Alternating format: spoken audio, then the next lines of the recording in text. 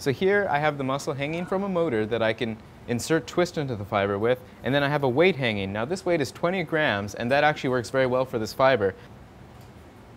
What I can do now is just put something here to keep it from untwisting and turn the motor on.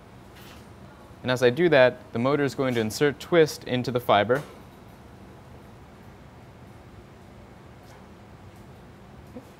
And now it's begun coiling. And you can see the weight is raising pretty quickly now.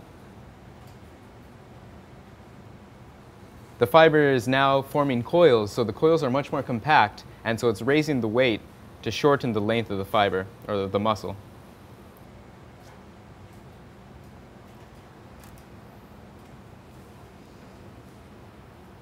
So this is just a normal heat gun.